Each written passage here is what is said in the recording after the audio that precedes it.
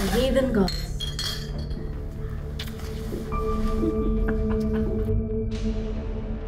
And they all say there's something out there. They can never tell what. Human sacrifices have been offerings to the gods. The hanged girl at St. Joseph's is no different.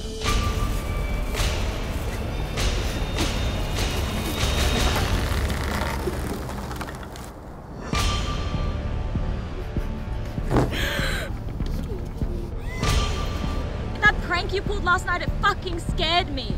This place, it's, it's weird. It's like I can't control myself. I just don't feel safe.